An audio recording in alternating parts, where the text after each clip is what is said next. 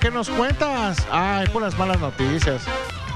Puras malas noticias y esta noticia empezó a correr en la madrugada del viernes.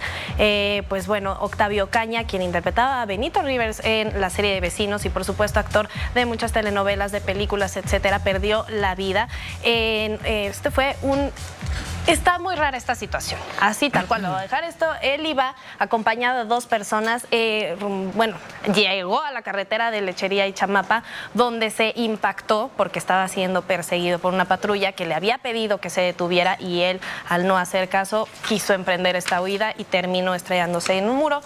Y lo curioso, misterioso y extraño de todo esto es que no murió por este impacto, sino murió por un balazo en la cabeza. ¿De dónde salió este balazo? Pues este, decían que tenía un arma en la guantera. Los, los acompañantes fue lo que dijeron a las autoridades, que tenía una pistola en la guantera y que posiblemente al momento de impactarse se disparó y así fue como murió. Después de esto, este fin de semana se dieron muchísimas investigaciones, inició todo y ayer por la noche la Fiscalía General de Justicia del Estado de México dio un, pues digamos como, pues un reporte para concluir con este caso llevaron a cabo diversos dictámenes periciales respecto al fallecimiento de Octavio Ocaña de 22 años, que estaba identificado como Octavio N, eh, que perdió la vida por un impacto de arma de fuego en la cabeza mientras conducía esta camioneta, misma que fue hallada en la autopista Chamapa Lechería. Y eh, posteriormente de esto empezaron a, pues, a investigar, por supuesto, acerca del arma, que era calibre .380, que durante su huida el conductor perdió el control, aunque también se decía que posiblemente la patrulla había, eh, se había impactado contra la camioneta que hizo que Octavio perdiera el control. El, dictamen de toxicología realizado a la persona fallecida determinó positivo a alcohol. Se encontraron tres latas de cervezas vacías, también tenían una botella de tequila y a consecuencia del impacto de la camioneta, esta lo que dice la fiscalía. Accidentalmente Octavio disparó a sí mismo el arma de fuego que tenía en la mano derecha. Pero hay muchas cosas, la familia no ha querido hablar acerca de, esta situación. Ellos no quieren tampoco ya involucrarse tanto con las autoridades, prefieren dejar esta situación así porque empezaron a circular varios videos donde se dice que las autoridades y la policía estaban eh, pues influyendo en lo que la fiscalía decía, que él aún estaba vivo, pero las autoridades no hicieron nada para ayudarlo a salir que decían también que si le habían puesto el arma, que si no, todas estas cosas que la familia está pidiendo, pues que se deje que Octavio pueda descansar en paz. Fue trasladado ya a Tabasco esta mañana ya se reunieron todos eh, pues para, para enterrarlo y ahí estaban familiares, amigos y también ayer en la noche que llegaron a Tabasco todo Tabasco estaba ahí presente haciendo una caravana recibiendo el cuerpo de Octavio.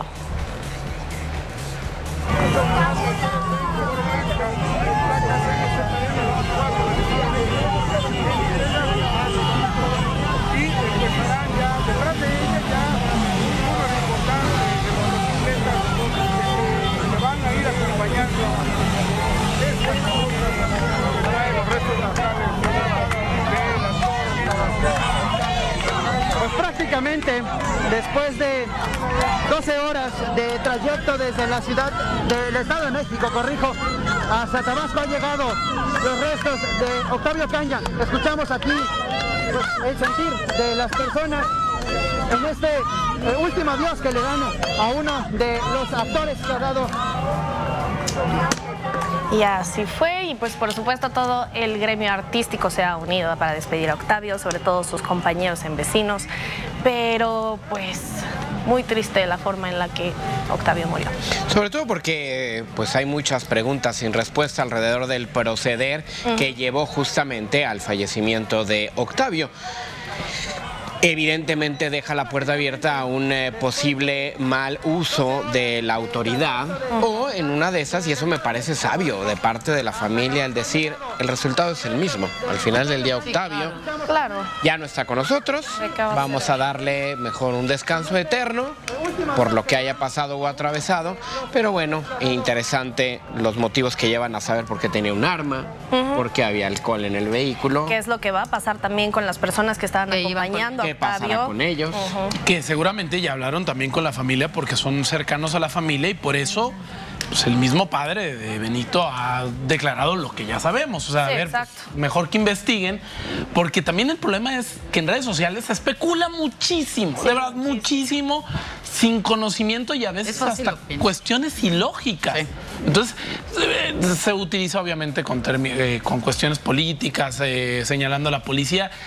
De verdad, hubo, había gente, se supone, cercanos a Octavio, conocidos de la familia, que ellos ya dieron su versión, seguramente ya también hablaron con la familia de lo que sucedió y por eso también escuchamos pues este respeto también hacia las autoridades eh, eh, frente a las versiones que están dando. Incluso, Claro. incluso sus acompañantes, tengo entendido que declararon que tenían como dos días tomando. Exacto, Entonces que- que llevaban una fiesta larga, entonces pues también cómo vas a ir en contra de lo que ellos, Ellos mismos dicen ellos estuvieron ahí, ¿no?